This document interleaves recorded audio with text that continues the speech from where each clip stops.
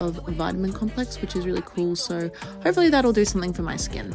Once I eventually got this on, I did make sure to pat all of the serum around my face and make sure it was sitting properly. And I also did rub a little bit onto my neck that came kind of off the sheet mask. Another thing that I find that I really like about the JM Solution masks is that they give you heaps in the bag afterwards. So there's definitely plenty left over to rub all over your neck. And even I rubbed it on my hands when I was done because I just had so much left over, which is awesome. So the packaging does say to leave it on for 10 to 20 minutes, but I actually left this one on for 40 and I didn't get any redness or anything like that, just because I really wanted it to soak in properly. As I removed this, I did feel like my skin was a lot more moisturized, which I'm really happy about. So here's my skin before, and then here is my skin after, and then once again, here is my skin before, and then also here's my skin after. So it definitely felt softer, and I actually really like this one. I think out of the JM Solution masks, this is probably one of my favorites.